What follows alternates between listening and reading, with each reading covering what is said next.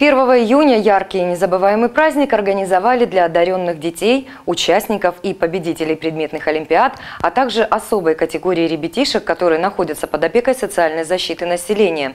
В этот день 70 юных белореченцев побывали в столице зимних игр, посетили Олимпийский парк, посмотрели театрализованное представление «Бременские музыканты», поучаствовали в большом детском празднике. Можно сказать, что с этого момента для юных белореченцев открылся сезон летнего отдыха. Несколько дней восьмилетняя Ксюша готовилась к поездке на море. Вместе с мамой собирала сумки и сейчас проверяет, ничего ли не забыла. Все тщательно, все продумали. Вечернее платье у нас и два купальника. Все у нас на месяц вперед.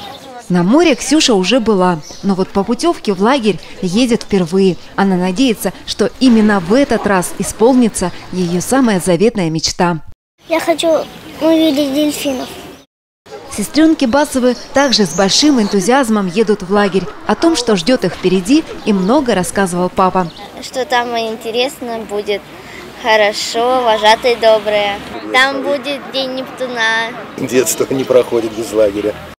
И буквально через несколько минут 35 юных курортников автобус с комфортом домчит до моря, где находится один из лучших оздоровительных лагерей Анапы – «Жемчужина России». Путевки бесплатные. Возможность отдохнуть детишкам из многодетных семей предоставило Управление социальной защиты населения.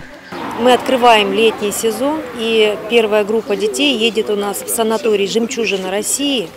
35 детей. Всего за лето мы оздоровим более 300 детей. У нас есть путевки санатории и детские оздоровительные комплексы Анапы, Новороссийска, Геленджика.